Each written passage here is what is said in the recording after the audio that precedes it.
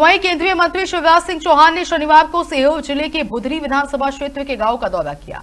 इस दौरान केंद्रीय मंत्री शिवराज सिंह चौहान ने कहा कि लाल किले की प्राचीर से हमारे प्रधानमंत्री नरेंद्र मोदी ने पूरे देश से कहा है कि दो तक विकसित भारत का निर्माण करना है और विकसित भारत के निर्माण के लिए वो तीसरे कार्यकाल में तीन गुना ज़्यादा मेहनत करेंगे। जब प्रधानमंत्री तीन गुना ज़्यादा मेहनत करेंगे तो हमारा भी कर्तव्य है कि विकसित भारत के निर्माण के लिए जो काम हमारी तरफ़ है, उसके लिए हम जी जान झोंक दें। इसलिए कृषि और किसान कल्याण विभाग ने तय किया है कि हम परिश्रम की पराकाष्ठा करेंगे और तीन गुना ज़्यादा काम करने की कोशिश करेंगे। उन्होंने कहा कि पूरा भारत अगर ये ठान ले तो भारत दुनिया में शिखर पर होगा। मित्रों, लाल किले की प्राचीर से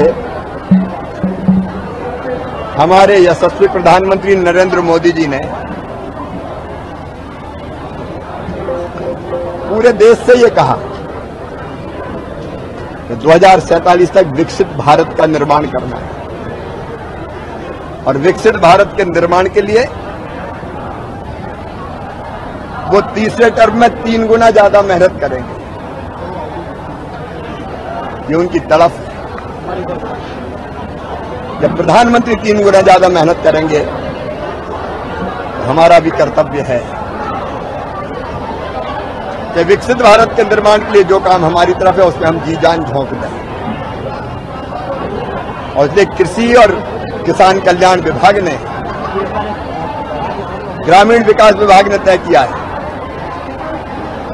कि हम परिश्रम की पराकाष्ठा करेंगे। मैं भी एक मिनट टेंशन नहीं बैठूँगा। मेरे अधिकारी, कर्मचारी, मंत्री, सचिव। और हम भी तीन गुना ज़्यादा काम करने की कोशिश करेंगे। अगर पूरा भारत ये ठान ले तो भारत दुनिया में शिखर पे होगा। उनके नेतृत्व में कृषि और किसान कल्याण लगातार काम कर रहा अभी 109 नई प्रजातियों के बीज हमने प्रधानमंत्री जी के हाथों उन्होंने रिलीज़ किए हैं। लखपति दीदी का हमारा अभियान अब 25 तारीख तक 11 लाख लखपति दीदी और नहीं बन जाएँगी। दो करोड़ मकान बनाएँगे गरीबों को। ग्रामीण क्षेत्र में एक करोड़ शहरी क्षेत्र में वो भी कैबिनेट से पारित हो गया है। और हम जहाँ सड़क नहीं है, वहाँ सड़कों का जाल भी बिछाएँगे। तो ग्रामीण भारत का विकास, प्रधानमंत्री जी ने मेरे जिम्मे दिया है, खेती का, किसानों का कल्याण, उसमें कोई कसर नहीं छोड़ा